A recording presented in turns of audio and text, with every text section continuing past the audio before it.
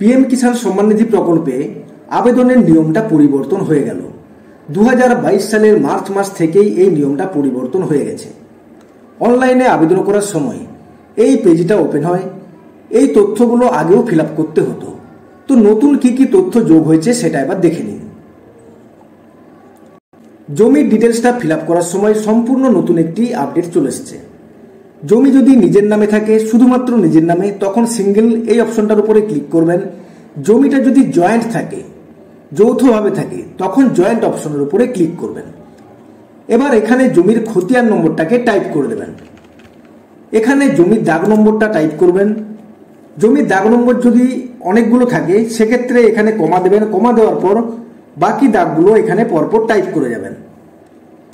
এখানে হচ্ছে এরিয়া জমির পরিমাণটা কি সেটা হেক্টরে এখানে লিখতে হবে। সাধারণত পর্যাতে জমির পরিমাণটা একরে দেওয়া থাকে। একর থেকে হেক্টরে কীভাবে কনভার্ট করবেন সেটা এবার দেখে নিন।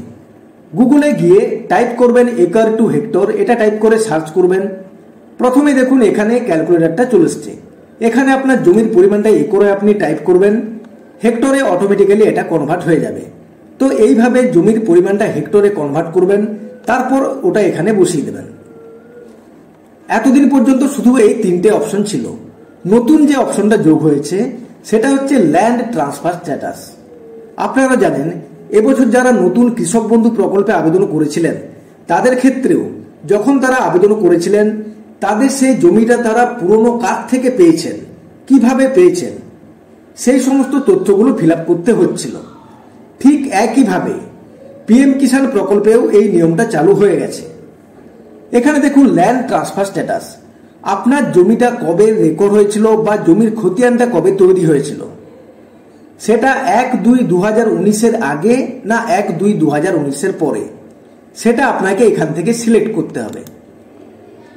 এরপর ল্যান্ড ট্রান্সফার ডিটেলস আপনি জমিটা কি সূত্রে পেয়েছেন? আপনি যদি জমিটা কিনে থাকেন, তখন এখানে লিখে দেবেন পারচেস জমিটা যদি কেউ আপনাকে উইল করে থাকে, তখন সেটা এখানে লিখে দেবেন উইল। কেউ যদি জমিটা আপনাকে গিফট করে থাকে, তখন লিখে দেবেন গিফট।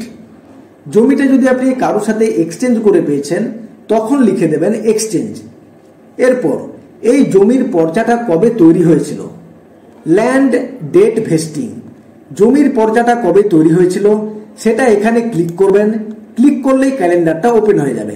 এখান থেকে সেই ডেটটা আপনি সিলেক্ট করে নেবেন, যে জমিটা কবে রেজিস্ট্রেশনটা হয়েছিল।